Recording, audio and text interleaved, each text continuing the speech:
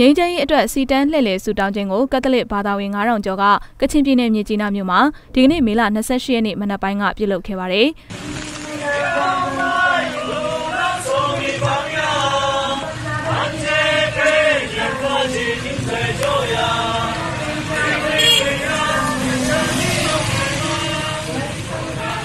အဲ့လိုစီတန်းနဲ့လေဆူတောင်းခြင်းမှာစီတာပူဖုံးတော်ကြီးတိုက်နေတဲ့မြစ်ကြီးနားဖုံးတော်ကြီးတိုက်နေကကက်သလစ်ဘာသာဝင်တွေပါဝင်ခဲ့ပြီးသခင်ခရစ်တော်ရဲ့မိခင်မေရောသခင်မကိုတရားကြည်ညိုစိတ်ပတိစိတ်တာဆူတောင်းတာနဲ့ဓမ္မတေးသချင်းတွေနဲ့ဂုံတော်ချီးမွမ်းတာတွေပြုလုပ်ခဲ့ပါတယ်။စီတန်းလှည့်လေဆူတောင်းတာနဲ့ပတ်သက်ပြီးပြည့်မြောက်ရေးကော်မတီဒုတိယဥက္ကဋ္ဌဦးတူရော်ကအခုလိုပြောပါရယ်။ဒီနေ့ကျွန်တော်တို့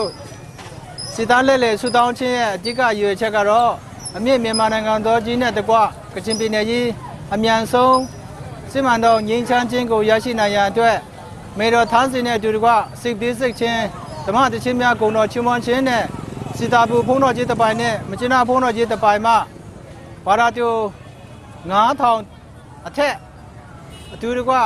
စုယုံပါဝင်ပြီးမှပြုလုပ်ခြင်းဖြစ်ပါတယ်နိုင်ငံတကာမှာရှိတဲ့ကက်သလစ်ဘာသာဝင်တွေဟာငြိမ်းချမ်းရေးအတွက် သခင်ခရစ်တော်ရဲ့မိခင်မေတော်သခင်မထံအခုလိုမျိုးတရားကြည်ညိုစိတ်ပတိစိတ်စီတန်းလှည့်လည်ပြီးစူတောင်းအတနာခန္ဓာကိုကက်သလစ်အသင်းတော်တွေကခရက်ဆက်ဆက်ပြုလုပ်ခဲ့တာပဲဖြစ်ပါတယ်